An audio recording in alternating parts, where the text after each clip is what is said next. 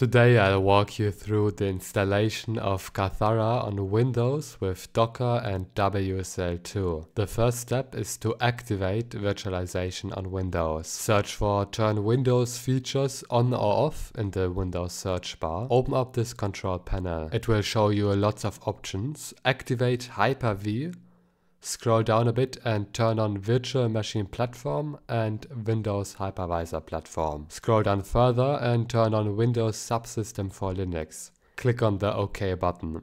It will ask you to restart your device. Be sure to enable virtualization in your computer's BIOS as well. After the restart, open an administrative command prompt window to install WSL2. Issue the command wsl set default version 2. Verify that the default version is 2 with the WSL status command. Run WSL updates with WSL update. List the available distributions with WSL-L-O. Copy the name of the latest Ubuntu distribution. Issue the WSL install command with the distribution name.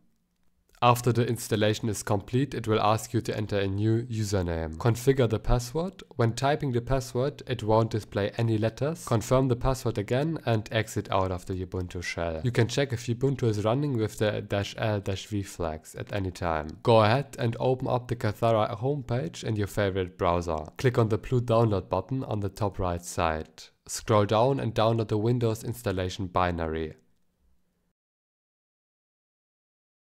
It might tell you that this file isn't commonly downloaded. Click on the three dot menu and click on Keep. Click on Show More and click on Keep Anyway. Look up Docker Desktop, download Windows. Click on the Docker website and click on the download button for Windows.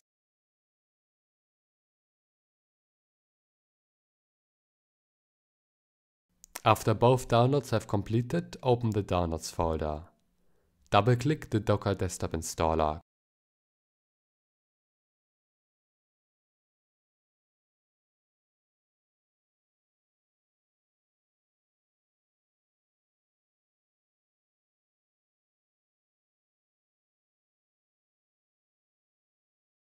Keep every setting at its defaults and click OK.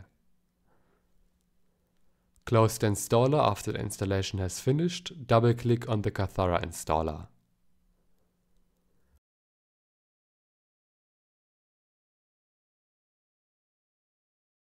Accept the licensing terms and keep everything else at its defaults.